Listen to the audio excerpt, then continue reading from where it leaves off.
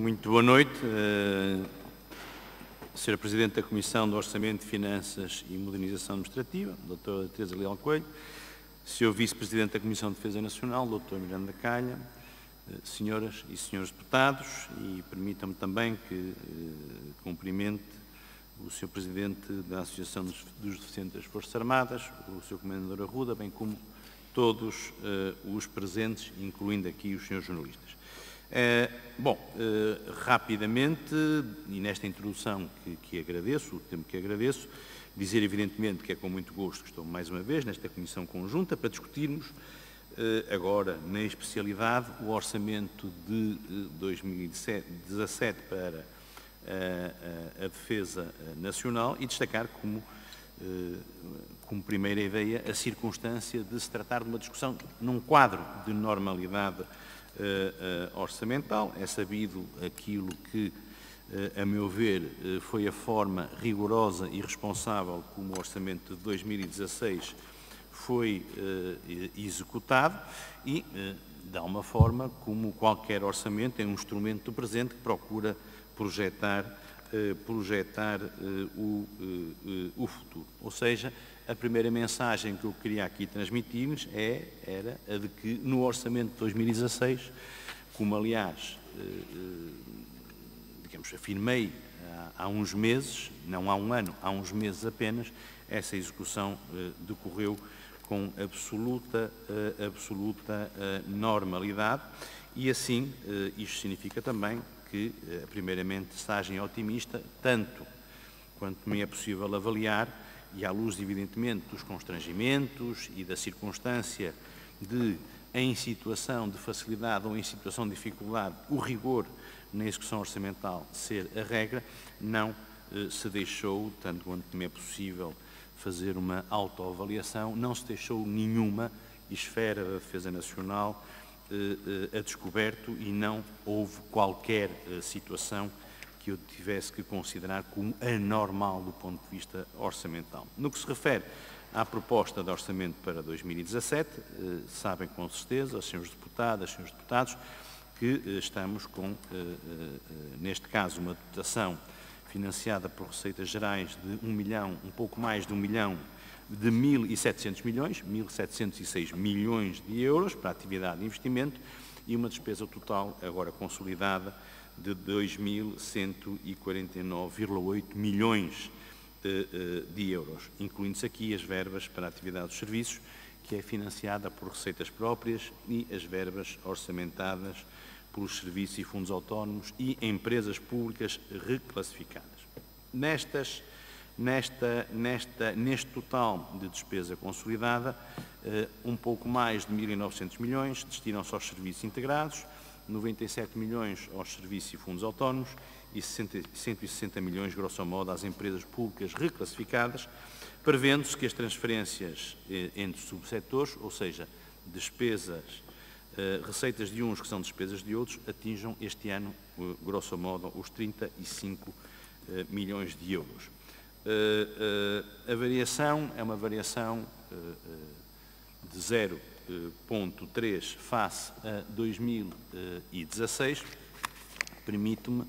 primeiro destacar uh, esse aspecto, porque é relevante, porque se consegue, uh, porque se consegue uma variação positiva e, sobretudo, porque essa variação positiva vai, uh,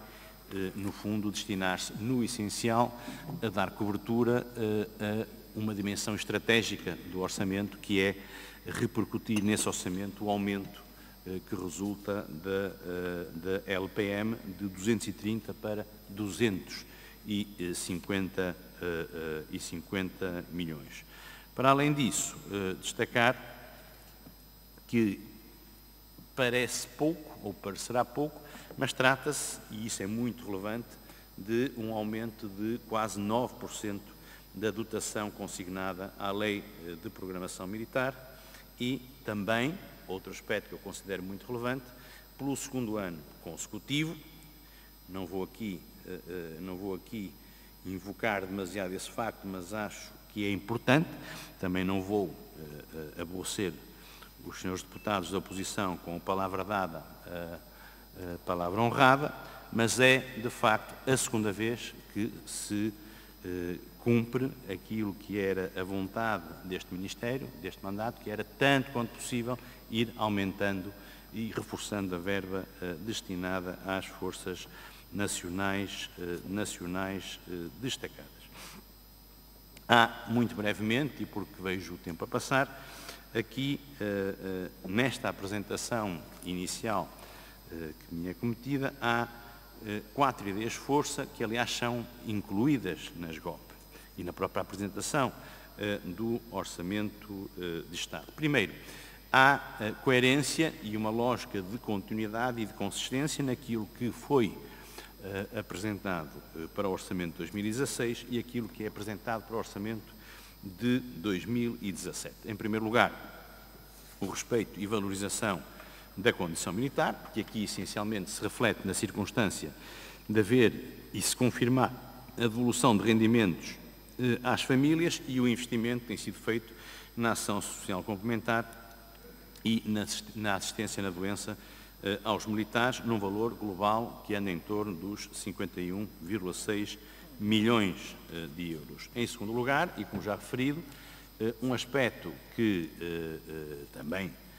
tem importância, a meu ver, indiscutível, que é o compromisso com os meios, com a modernização dos meios e o reequipamento das Forças Armadas. Todos sabemos, todos sabemos, não é surpresa para nenhum dos presentes, que no momento em que é aprovada a, a, a Lei de Programação Militar vigente, havia já e há ainda a convicção de que mesmo os valores ali previstos já não seriam eh, suficientes realmente para cobrir todas as necessidades de modernização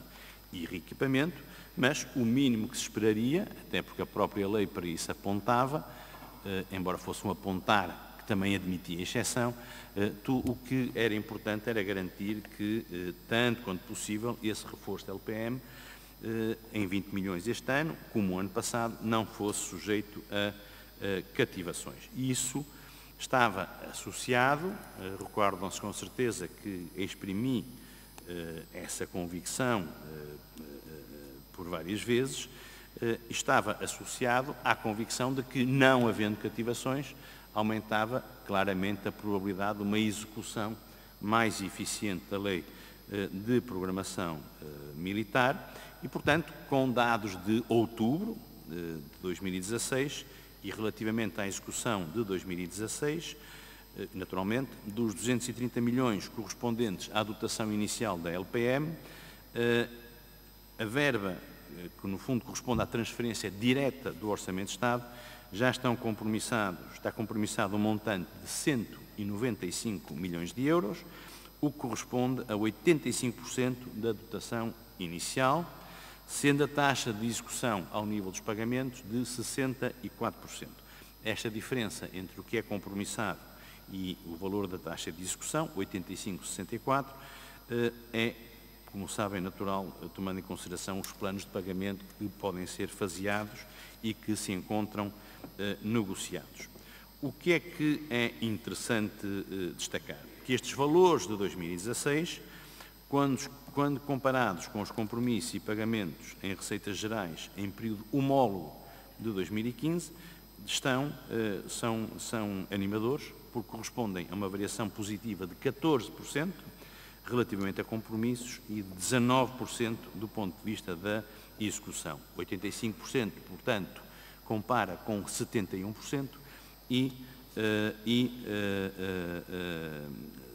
45% compara com 64%. Porquê é que isto é, é, é duplamente relevante? Primeiro,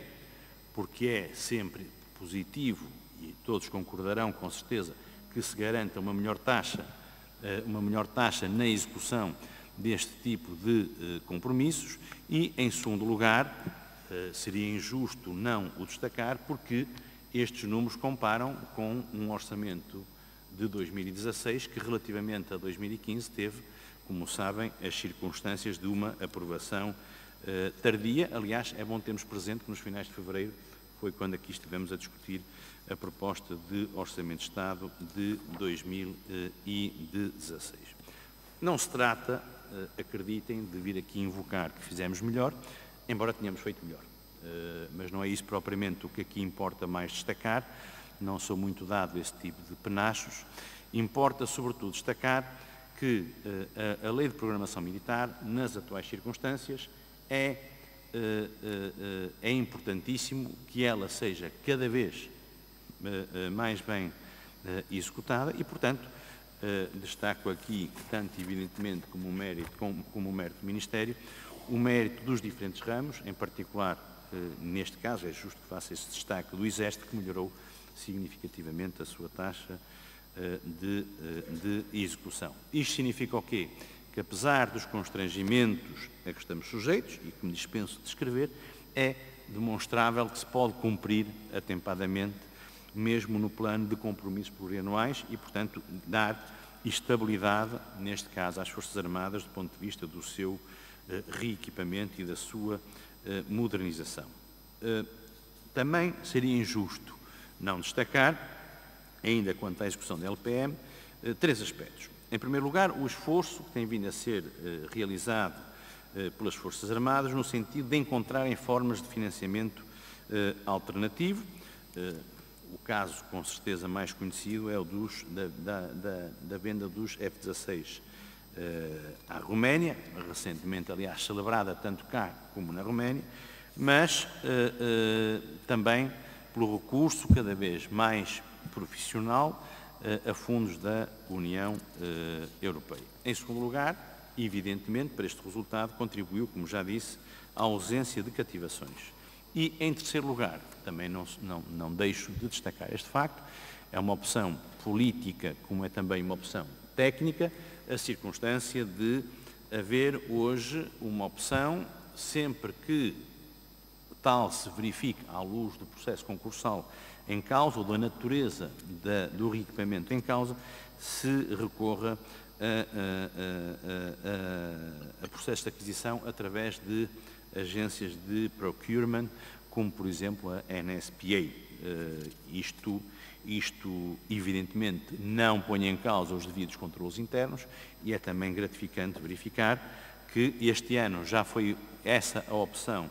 para as viaturas táticas ligeiras blindadas 4x4 do Exército, para os drones para o Exército também, ou mais recentemente a aquisição de 35 viaturas táticas médias blindadas e 12 viaturas táticas médias não blindadas para reforçar o sistema de informações e comunicações tático do Exército. Isto significa o quê? Isto significa que hoje estamos perante uma paleta de hipóteses, repito, que não põe em causa os devidos controlos internos e chama a atenção para a circunstância do Tribunal de Contas nunca, uh, uh, nunca ter, ter, tido sempre uma apreciação uh, positiva destes processos concursais, mesmo lá onde por vezes trata de ajustes diretos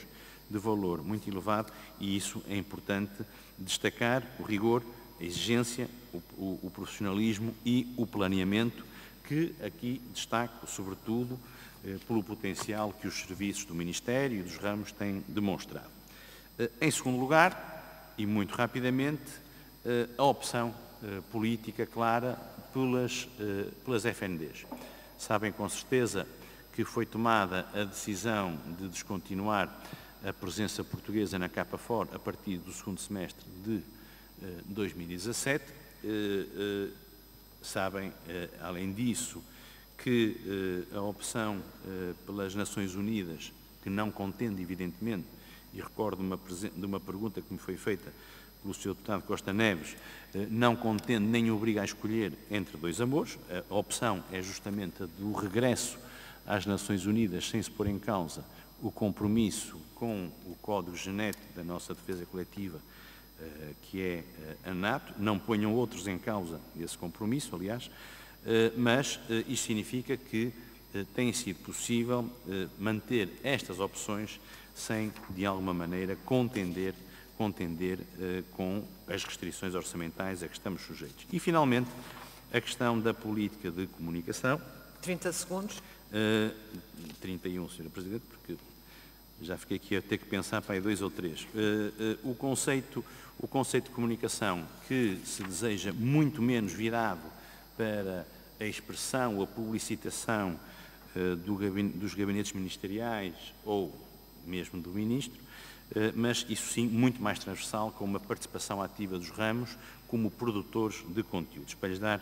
muito rapidamente uma noção, a página da Defesa Nacional no Facebook passa de 6 mil subscritores para 13 mil e no Twitter passou de 27 mil para 53 mil seguidores. Isto não quer dizer que tenhamos que esconder o Ministro para ter boa comunicação, mas isto significa muito mais do que isso, que a boa comunicação pressupõe que se fale em geral da defesa nacional. Muito obrigado.